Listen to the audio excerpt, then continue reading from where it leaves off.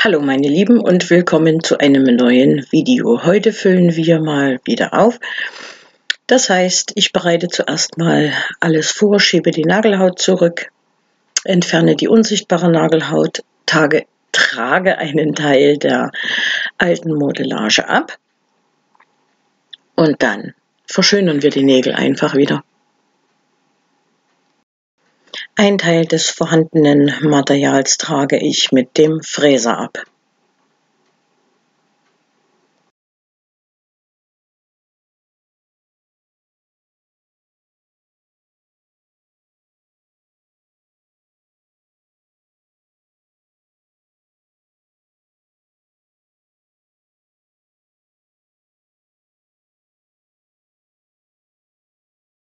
Der andere Teil vom Material wird mit der Handfeile abgefeilt. Also ich trage nicht 100% ab, sondern lasse immer einen gewissen Teil stehen und ich befeile mehr Form und Länge.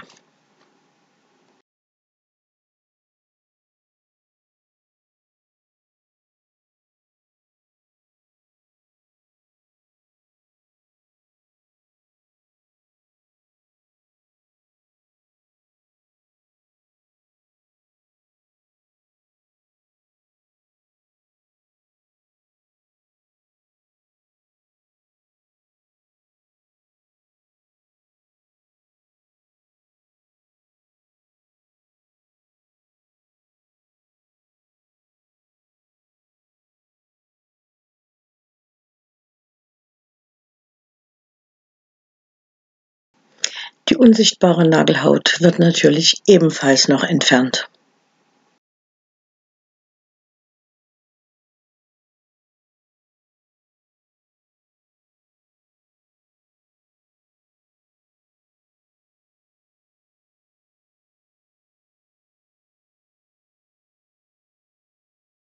Wenn dann alle, Fallarbeit, alle Feilarbeiten abgeschlossen sind, kommt auch noch der Feilstaub weg.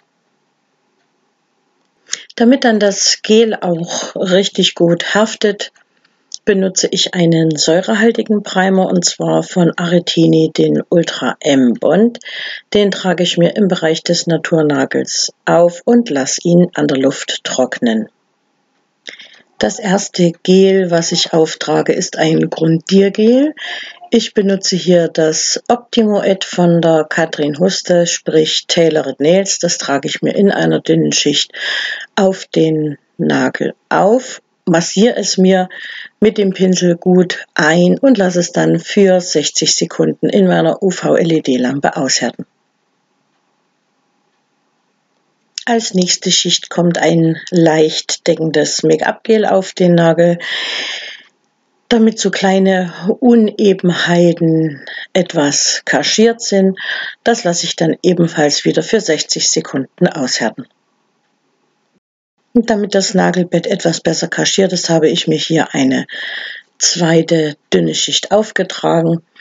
Das kann man, also dieses spezielle Make-up-Gel kann man auch als Modellagegel verwenden, sprich damit kann man den Aufbau machen. Da wir hier aber nur die Naturnägel verstärken, ist kein großer Aufbau nötig, sondern nur eine Verstärkung. Als nächste Schicht kommt ein klares Einphasengel zum Einsatz, denn wir wollen ja hier ein Glitzerdesign machen. Und dieses Einphasengel lasse ich nicht aushärten, denn es kommt dann das Glitzer gleich mit rein. Das seht ihr aber im nächsten Schritt. Ich habe euch ja schon mal gezeigt, wie ich mit dem Glitzer arbeite. Hier benutze ich die Tipptechnik, sprich ich tippe das, ähm, die Nagelspitze in das Glitzerpöttchen ein, habe somit eine schöne deckende Schicht und verziehe es mir dann mit dem Fächerpinsel. Das mache ich dann zweimal, wenn gewünscht, und lasse es zwischendrin immer kurz anhärten bzw. für 30 Sekunden auch aushärten.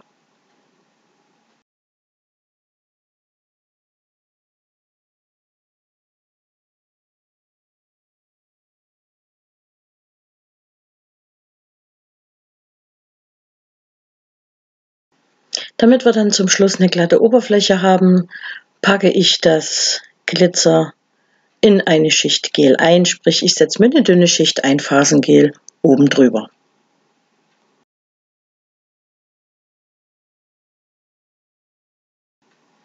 Und nun wird das Ganze auch noch befeilt. Leider haben wir hier ein paar Fussel von der Zellette dran gehabt, aber das macht nichts. Mit der Feile sind die dann auch schnell entfernt.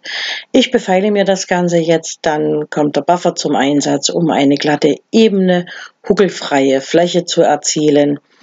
Und dann können wir auch schon weitermachen mit dem Design, denn es sollte hier etwas Winterliches drauf, sprich ein paar Schneeflocken und ein Schneemann.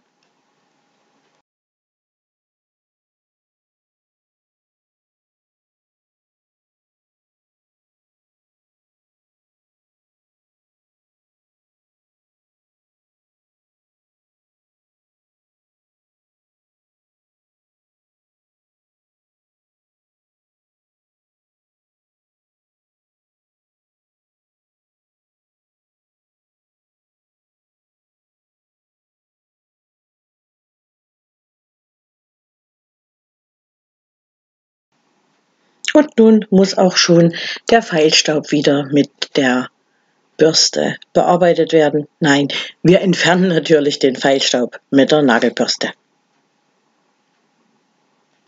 Da wir hier selbstklebende Sticker verwenden, ist es ganz wichtig, dass die Oberfläche wirklich trocken, glatt und eben ist, weil sonst halten einfach diese selbstklebenden Sticker nicht wirklich. Und ich drücke mir die auch richtig gut auf den Nagel auf, damit sie auch schön haften und sich nicht mehr wölben, denn also ablösen, das kann nämlich auch schnellstens passieren bei diesen selbstklebenden Stickern. Und wenn die schon ein paar Tage alt sind, also mit paar Tagen meine ich doch schon mehrere hm, Monde, ist es immer unschön und deshalb ist wirklich darauf zu achten, dass die Oberfläche glatt und trocken ist. Ja, wir kleben jetzt die Sticker alle drauf, dann kommt auch schon der Versiegler zum Einsatz, das zeige ich euch aber gleich. Als Versiegler nehme ich hier einen etwas äh, dickviskoseren Versiegler, also ganz dickviskos ist er ja nicht, der ist aus der Pinselflasche. Das ist das Versiegelungsgel von Laveni, das ähm, Glossy.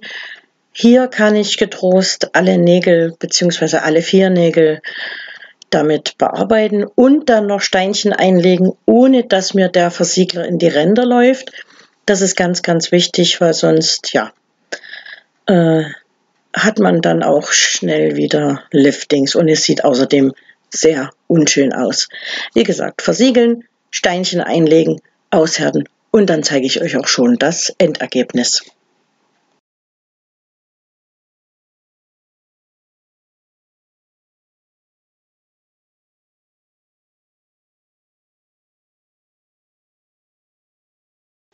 Damit die Steinchen dann besser haften, lege ich in den noch feuchten Versiegler extra nochmal einen Punkt Versiegler ein und setze mir dann die Steinchen da drauf, weil so sitzen sie ganz gut und gehen nicht beim kleinsten Windhauch schon wieder ab. Ja, und das Ganze lassen wir jetzt noch aushärten, wenn die Steinchen sitzen und dann zeige ich euch das Endergebnis.